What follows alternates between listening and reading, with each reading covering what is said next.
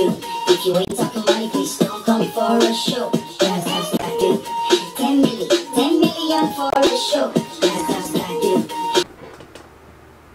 What's good YouTube? It's your boy Ben Easy and we're back again with another video and today's video we're to be talking about the Air Force Ones. Basically the ones that people don't like to wear because they, they are scared of being called hoodlums. Hmm. I asked you guys in on my Instagram what you thought about the shoes. And this is what some people said.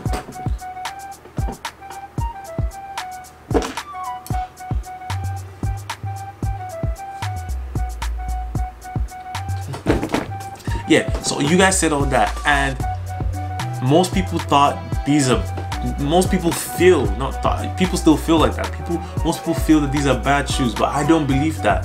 And hopefully at the end of this video i would be able to change it so let's get to the video